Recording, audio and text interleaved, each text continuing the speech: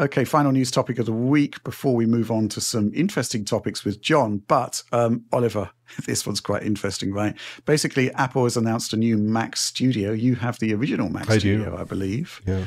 And um, let's just say that the spec options on offer are, are kind of odd, right? It is very unusual. It is very unusual. So I'll explain my interest in this first of all, which is that I've had an M1 Ultra Mac Studio for the last three years or so. And that's been like one of my favorite computers I've ever had. It's so fast, it's so sleek, it's so slim, it's so quiet. It's a wonderful computer to use. Tons of memory for all kinds of uses. That's really a fantastic computer. But Apple's been moving really quickly with their M series of chips, and I've been looking maybe to upgrade. The M2 Ultra came out about two years ago, and that was like a pretty minor upgrade over M1 Ultra, like 20%, 30% CPU, GPU improvements. And the Ultra chips, by the way, they're two Max chips connected over a silicon interposer with 2.5 terabytes per second of bandwidth uh, between them. So that's basically like a, a, situation where the Max chips are Apple's biggest chips, and they basically connect two of them to to form a one chip that is monolithic in software, uh, is perceived as one chip by the operating system, but is is much more powerful. But when the M3 generation came out a year and a half ago, the weird thing is the M3 Max chip didn't appear to have a silicon interposer. So it seemed like, okay, this okay. is going to skip this generation of product. Um, but it turns out that actually wasn't quite correct because, like Rich mentioned, Apple has announced a new series of Mac Studios in addition to the MacBook Air on the same day, but the Mac Studios are what's of interest here. And they include an M4 Max. Okay, that's normal. And the step up chip is not an M4 Ultra, but actually an M3 Ultra chip, which is totally bizarre. Uh, so it seems yeah. like that M3 Max die shot that was going around, did it actually have an interposer connection on it? Either that or they're producing a new version of the M3 Max chip, um, possibly on a different process. I heard some reporting that was on N3E instead of N3B, possibly. But in either case, there probably is some funny business going on here because this computer seems like it should have shipped a while ago with maybe an M3 Max and an M3 Ultra chip, but that wasn't the case. They have this M4 Max chip and now this M3 Ultra chip in the same lineup of computers, with the M3 Ultra costing considerably more. But I think actually, you know, in performance terms, it's it's it's kind of a huge step up in a lot of respects. Apple's been moving really quickly. So relative to my M1 Ultra, um, it's got about an 80% faster CPU, about a 160% faster GPU, according to Apple. Ultimately, the thing that pushes me off this is just like the M4 series is obviously more recent, and you actually have substantially higher single core CPU performance in the M4 series, which is a significant bottleneck for some of the work that I do, some of the exports that I do here. That kind of leaves a bad taste in the mouth. So, uh, right. personally, I'm kind of thinking maybe I wait for the M5 Ultra and I have this computer for like five years or something. I just wait for that ultimate um, upgrade there. But the other thing that's weird about this computer and, and potentially quite compelling about this computer is they're offering it because they have this unified memory configuration, right? These computers have massive pools of memory. So my Mac Studio yeah. has 120 gigabytes of RAM, which three years ago was like, you know, a pretty massive amount of RAM, unified memory, so that, that can be used by graphics. That's obviously very key for, can be key for games, can be very important for games, very, very important for AI workflows in particular. Um, that's obviously another big focus area this new computer can support 512 gigabytes of unified memory. and if right, you, okay, if you, ridiculous. Yeah, if you kick, yeah. if you kick that in, uh, that is an insane amount of money. I'm not going to say how much money it is, but if you were to pursue that, that would be an intense amount of money. Personally, I'd probably go with 256 if I was going to configure that.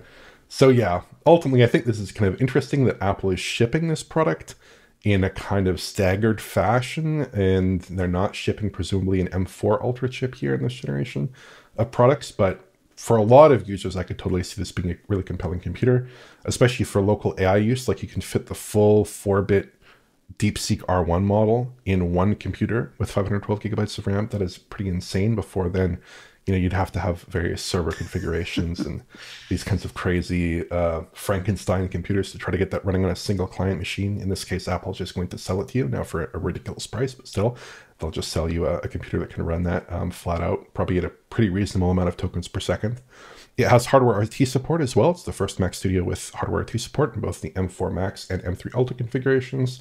That should be great for titles like the upcoming Assassin's Creed Shadows, which is shipping day and date on Macs, uh, which should be really, really good there.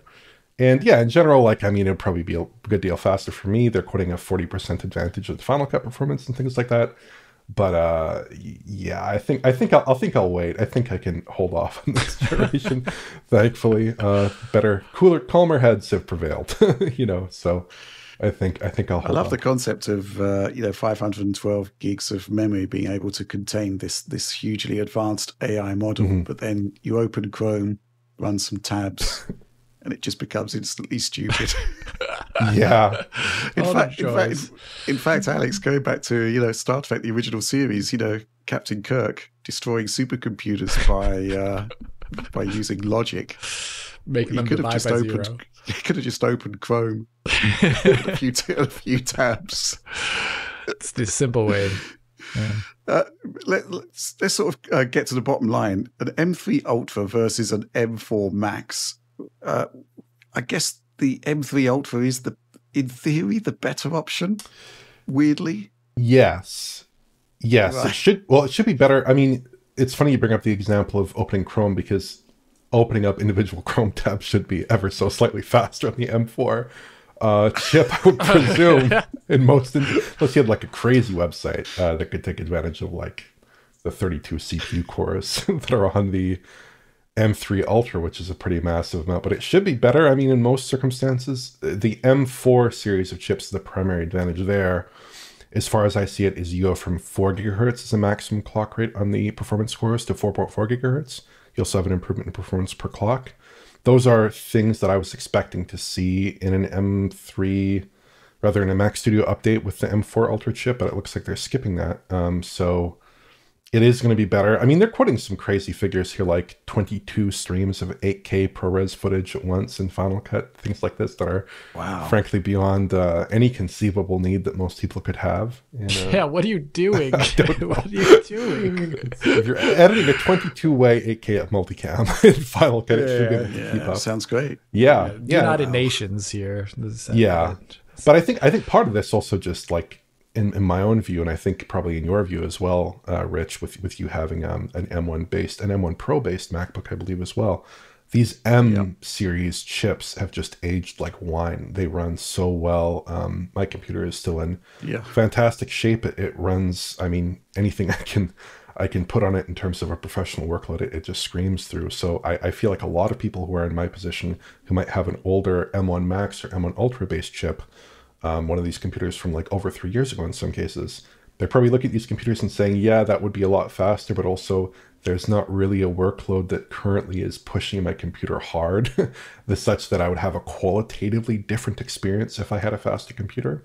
So I think a lot of people are in that position right now. Apple has just outdone themselves in some respects, and it's making it a little bit harder to incentivize an upgrade in some cases. Whereas with the Intel computers, I always felt like okay, this thing is pokey, it's throttling, it's there are all these problems. I never felt like that with the M1 series of chips.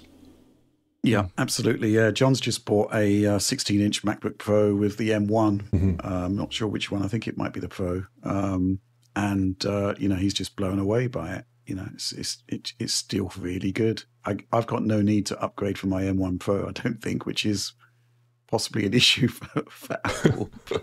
it is what it is, right?